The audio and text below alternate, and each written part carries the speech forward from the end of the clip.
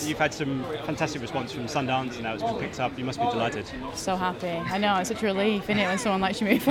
yeah, I guess it is. I guess it is. Uh, what was it? I mean, I loved you in things like Me and oh, and the Dying Girl, where you played a very different character. This Yeah. one's a little bit darker. A bit what kind of drew you into this one?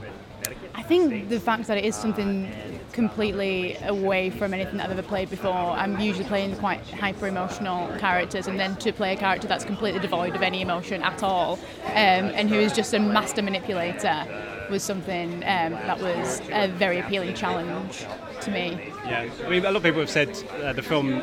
There's bits of Heathers in there, bits of American Psycho. I mean, when you read the script, were those kind of influences that you kind of felt through the script? No, I mean, I, I felt I, I don't know. I never that didn't bring, bring that that wasn't immediately that came. God, that wasn't something that immediately came to mind. I just thought that it kind of stood um, complete on its own. Cory wrote some of the, the most um, meticulously nuanced, um, lush female characters that I've ever read. So I just, I don't know. I think that was the the thing that kind of rose to the top when I was reading it.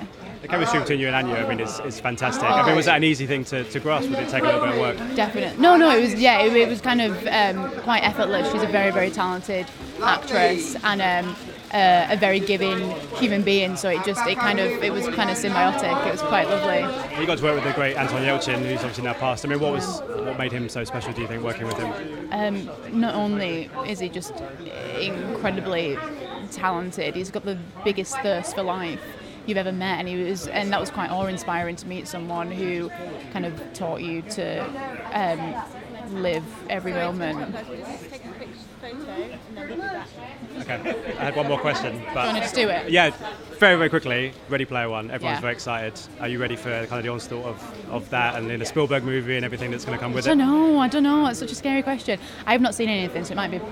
No, it won't be. It won't be. No, I mean, but I'm, but I'm, I'm really excited to see it. I'm excited for, for everyone else to see it as well. Yeah, And the trailer looks amazing. yeah, Yeah. I know. Oh God, I know. Yeah, that's yeah. Uh, Ladies and gentlemen, you're watching HeyUGuys! Hey, you guys, huh? Hey, you guys. Is that from the Goonies? It is indeed, yeah. Nice. Hey,